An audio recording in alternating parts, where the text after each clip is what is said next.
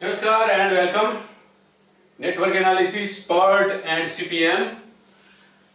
Now this time we have a problem where instead of giving information about activities with their predecessor, the information is available only with event numbers.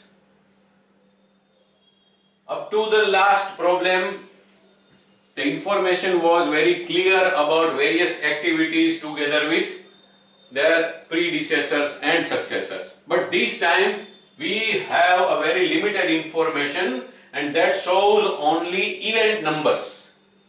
Then how to draw a PERT chart? It's not that much tough. Even you can also use the alphabets indicating the activity, say A for this, B, C, D, E, F, G, H, etc. But I suggest you to try to draw the network diagram or PERT chart directly from the information available. See 1, 2, 1, 3 and 1, 4. We know that event number 1 is start event. And from start event, three different activities start. One is from 1 to 2, another is 1 to 3 and another is 1 to 4. Then from event number 2, another activity start and goes to node number 3.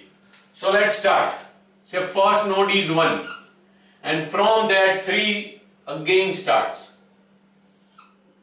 So this is 2, uh, this is 3 and this is 4. This is our common interpretation. So event number 1 is a burst event. 3 activities started from it. Now 2 to 3.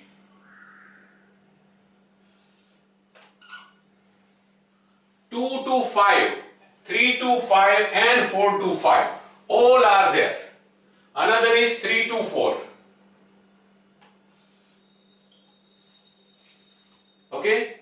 Now from two, three, and four, the last event is five.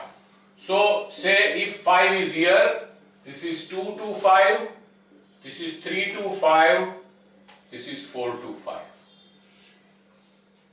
You can treat this as your rough work and draw a final PERT chart or network diagram with some refined shape or pattern.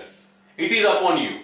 But if the information has been given in this way, there is nothing wrong with the question, only the node numbers or event numbers are there and according to the information given, we can draw the activities in the form of arrows as usual by writing the event numbers properly.